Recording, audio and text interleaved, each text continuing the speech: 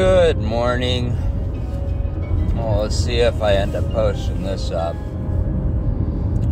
Doing one last uh, little thing for the year, I guess, with a little political vibe to it. Just a little. And when I do these things, it's not because of the immediate timeline. If there's going to be one thing said to leave for our children's children, it's to make sure that they live in America. Okay? And that that those things that had happened a hundred years ago affect us now in our laws and legislation. Those things that are uh, happening right now will affect the Americans in a hundred years. I don't know. Maybe my box is a lot bigger. but that's the way I think.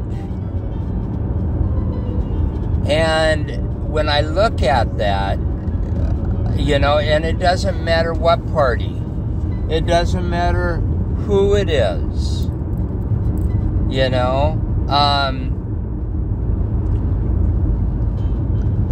when you lay down some of these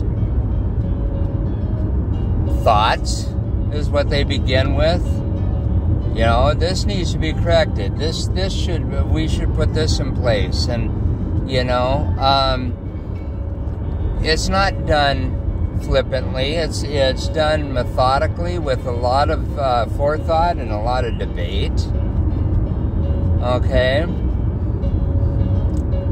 I'll get to the point. The point of the insurrection clause is that anybody that was thinking about going in and doing an insurrection, meaning a dividing of our nation, meaning a taking over because of whatever reason. Um, and and trying to claim for yourself, okay, against the will of the people, right? You can play around the word all you want, but it's it's pretty clear. It's just a game playing. I mean, to even to even do that as a game playing. That's like saying we the people. Well, that's kind of vague. Really? Is it? Why? Because you can't see that big of a crowd? You can't see the forest through the trees? We the people means everybody. Okay? And everyone voted. And at one time, things might have been tight. Well, this wasn't as tight as it should have been when it got when it was voted, or not as it should have been. It wasn't as tight as it has been. On top of it, you had somebody who had already had the forethought of not going away. He was not going to give it up. That right there if I would have been backing them, I would have been going, I'm not liking this at all. Because one thing is to follow a person to be a leader, but another thing is is that leader taking over on his own or her own. That is anti-democratic. Period. And so, so the the notion that we um we're even allowing these games to be playing is is totally mind-boggling to me. We're totally off our rocker. And our adversaries are watching every single move. They're just lining up their own chess pieces and ready to ready to take out. I'm guaranteeing you that because it's always been that way. wasn't that long ago that World War II happened. In the grand scope of history, okay? Think out, think the size box that you're in.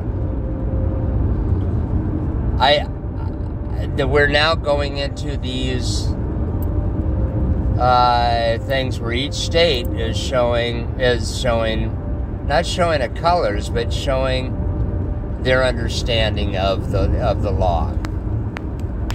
Okay, that law being the insurrection law, and one of the latest ones brought up the concept of that the former president had to have known the severity of what was going down. Had to have known what was happening on January 6th. Okay?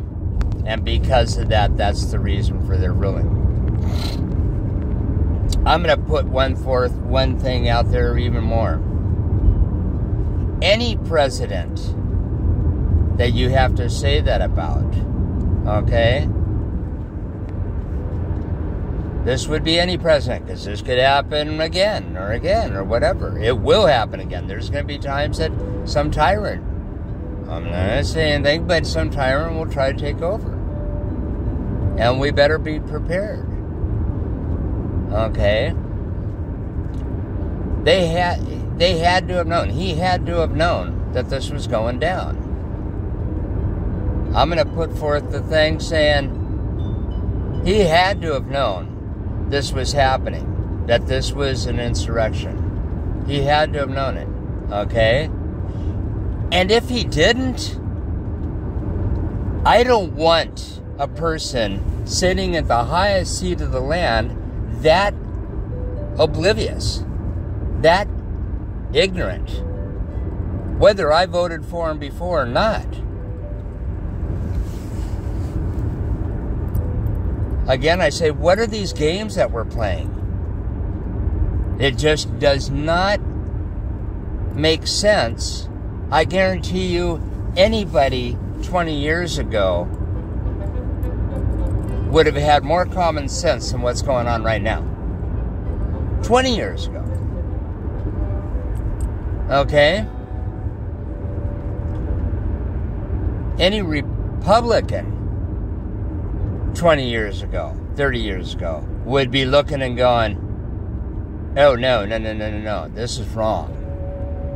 So I'm not sure what has happened, but, um, and, and again, I'm going to say it could happen on anybody's watch. It could happen on anybody's ticket. It could happen on any party's uh, situation.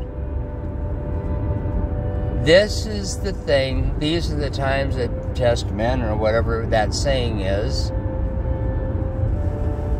And we, um, we need to rise above that. I'm not understanding clearly.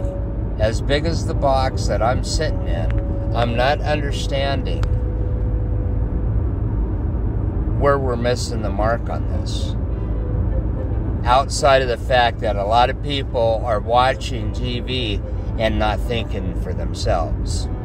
Plain and simple. That's a fact, Jack. Okay? Don't get me started on the media thing. I could spend another hour talking about that. And it's our interpretation, just like our interpretation of the words of the Constitution or Declaration of Independence or any of those things. Okay? But when you start adding the game playing in there, okay, that's when it that's when it gets muddied up.